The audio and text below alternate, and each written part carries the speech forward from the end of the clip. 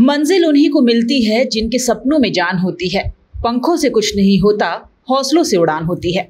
अपनी लगन और मेहनत के बल पर देश और दुनिया में पहचान बनाने वाली ज़िले की बेटी अपने घर में ही उपेक्षित है।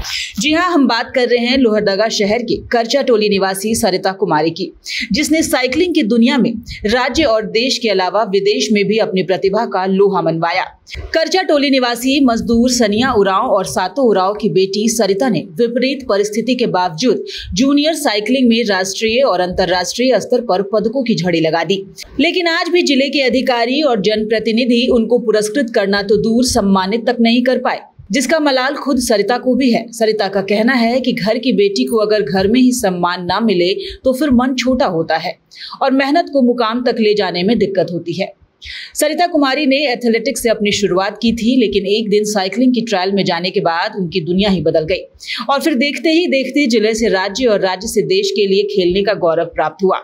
साल 2021 से साइकिलिंग के क्षेत्र में पहुँची सरिता ने अब तक दर्जनों गोल्ड मेडल सहित कई पदक जीता है।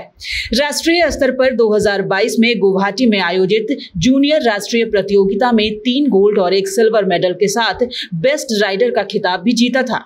2023 में रांची में आयोजित राष्ट्रीय प्रतियोगिता में तीन गोल्ड मेडल जीतकर अंतर्राष्ट्रीय प्रतियोगिता के लिए भारत का प्रतिनिधित्व किया, जिसमें साल 2024 में आयोजित जूनियर एशियन चैंपियनशिप में एक गोल्ड और एक ब्रॉन्ज मेडल प्राप्त किया था। वहीं 2024 में चीन में आयोजित जूनियर वर्ल्ड चैंपियनशिप में 500 मीटर साइकिलिंग रेस में पदक से वंचित रही। लेकिन मात्र छत्तीस दशमलव छह सेकेंड में रेस पूरा कर राष्ट्रीय रिकॉर्ड अपने नाम किया। सरिता की इस शानदार उपलब्धि पर देश तारीफ़ करते नहीं थक रहा, लेकिन अपने ही राज्य और ज़िले में उसकी कोई पूछ नहीं। सरिता को ना तो कोई सम्मान मिला है और ना ही कोई संसाधन जिसकी वजह से वह अपने ही क्षेत्र में उपेक्षित है। अब ऐसे में वह राज्य और देश का नाम कैसे रोशन करेगी? सरिता ने बताया कि घर की माली हालत भी ठीक नहीं है। देश और राज्य का नाम रोशन करने के बावजूद उसे अपने ही क्षेत्र में सम्मान नहीं मिल रहा। आ, मेरा नाम है सरिता कुमारी। मैं हरमुकर चटोली लोहरदगा की निवासी हूँ। मैं साइकिलिंग गेम करती हूँ। मैं, मेरा साइकिलिंग गेम स्टार्ट पहले मैं एथलेटिक्स की चार साल, उसके बाद हमारा ग्राउंड पे जब हम ट्रेनिंग करते, कर रहे थे, तब हमारा एक साइकिलिंग एसोसिएशन के सेक्रेटरी लोहरदगा के दीपक हेम्ब्रम सर आए।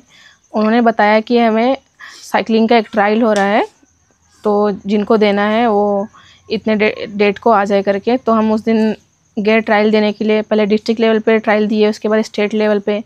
उसके बाद हमें दिल्ली बुलाया गया। उसके बाद दिल्ली में जब हम लोगों ने ट्रायल दिया, उसके बाद वहाँ से हमें सिलेक्शन दिया एन के लिए।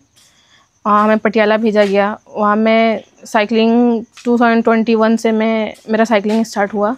उसके बाद ट्वेंटी वन में मैं कंपटीशन खेली नेशनल बट उसमें कुछ प्रदर्शन ठीक परफॉर्मेंस ठीक था बट उतना अच्छा परफॉर्म नहीं कर पाई थी मेडल नहीं दे पाई थी झारखंड को। उसके बाद 2022 में नेशनल खेली उसमें, मेरा एक सिल्वर मेडल था।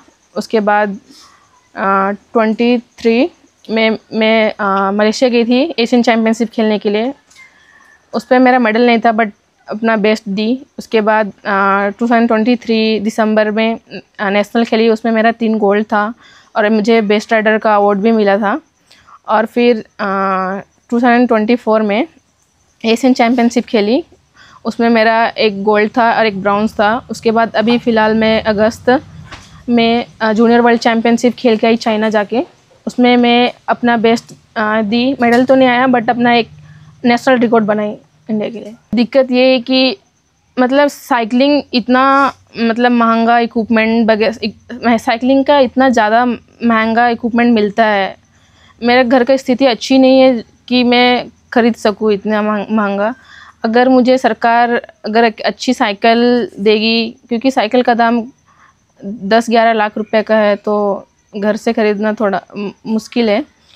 अगर अगर झारखंड सरकार अगर मुझे अच्छी साइकिल देगी तो मैं भारत के लिए, झारखंड के लिए, अपने ज़िला के लिए मैं अच्छा खेल पाऊँगी।